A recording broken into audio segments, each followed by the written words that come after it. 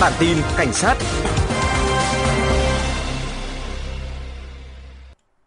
Quý vị và các bạn đang theo dõi bản tin cảnh sát. Mời quý vị và các bạn cùng lắng nghe những tin tức pháp luật nổi bật nhất trong ngày hôm nay, ngày mùng 1 tháng 6.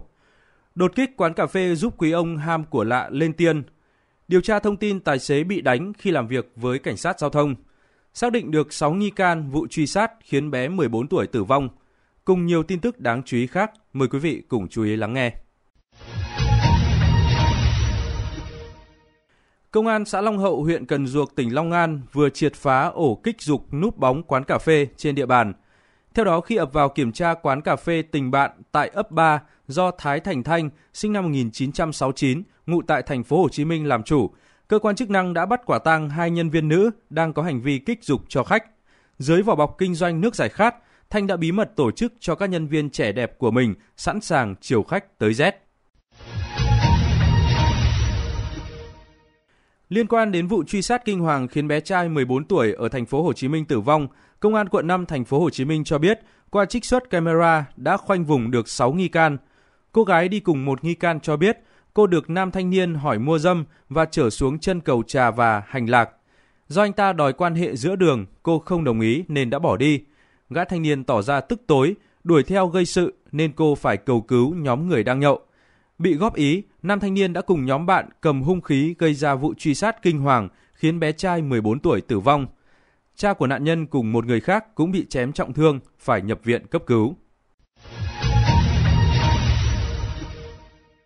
Đêm ngày 31 tháng 5, chiếc ô tô con do Dương Minh Sơn, 36 tuổi, trú tại Cẩm Phả, tỉnh Quảng Ninh điều khiển với tốc độ kinh hoàng bất ngờ bị mất lái, đâm vào cột điện. Toàn bộ xe bị hư hỏng, tài xế bị thương nặng, phải vào viện cấp cứu. Vào cuộc điều tra, công an thành phố Cẩm Phả cho biết Sơn bị ngáo đá. Khi đến bến xe địa bàn phường Cẩm Sơn, thành phố Cẩm Phả, thấy chiếc ô tô không đóng cửa nên Sơn đã lấy trộm chiếc xe rồi gây ra vụ tai nạn trên. Công an tỉnh Vĩnh Phúc đang điều tra thông tin một tài xế bất ngờ bị đánh trong lúc làm việc với cảnh sát giao thông tại thị xã Vĩnh Yên. Trước đó trên mạng xã hội lan truyền clip tài xế Phạm Ngọc Anh sinh năm 1990 ở Thái Bình tranh cãi với cơ quan chức năng vì cho rằng mình không vượt đèn đỏ. Khi hai bên đang giải quyết thì một người đàn ông lạ mặt tiến tới đấm hai phát vào đầu, buộc anh Ngọc Anh phải chạy vào trong xe và chốt cửa. Được sự động viên của cảnh sát giao thông, anh Ngọc Anh xuống xe tiếp tục làm việc, còn người đàn ông kia đã bỏ đi. Nói về sự việc này, Công an tỉnh Vĩnh Phúc cho biết đang yêu cầu đơn vị liên quan báo cáo sự việc, nhưng qua kiểm tra sơ bộ thì thông tin trên mạng là không hoàn toàn chính xác.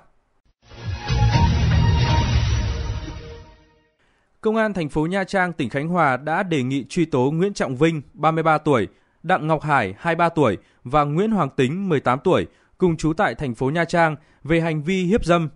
Theo điều tra, dù mới chỉ quen biết 2 ngày, nhưng thiếu nữ 20 tuổi đã đồng ý đi nhậu cùng nhóm thanh niên nêu trên. Khi đã say xỉn, cô gái bị một tên kề dao vào cổ, đe dọa và đòi hãm hiếp.